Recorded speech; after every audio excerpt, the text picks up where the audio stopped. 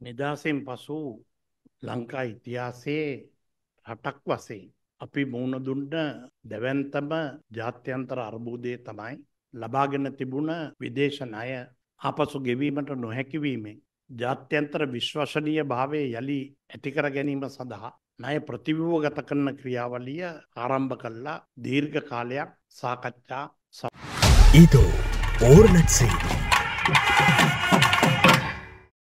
සම්බන්තරණ වැඩමුළු පැවැත්තුුණා.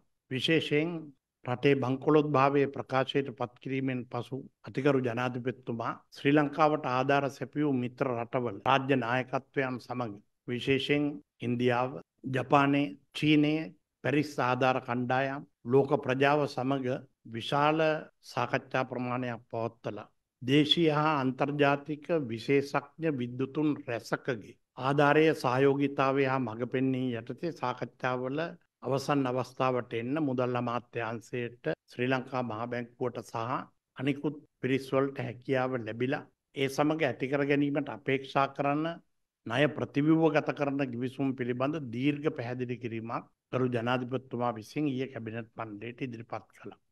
එහිදී එතුම ඒ කරුණු පැහැදිලි කිරීමෙන් පසු ඒ සඳහා අදාළ ගිවිසුම් හෙට දිනේදී අස්සන් තැබීම සඳහා පැරිස් ඒකාබද්ධ ආධාර කණ්ඩායම් වල හමුවීම් සඳහා මුදල් අමාත්‍යන්සේ ලේකමතුමා බාණ්ඩාගාරයේ ප්‍රධානීන් සහ අපේ රාජ්‍ය අමාත්‍යතුමන්ල ඇතුළු ශ්‍රී ලංකා නියෝජිත කණ්ඩායම් එරටට පිටත් කොට යවා තිබෙනවා.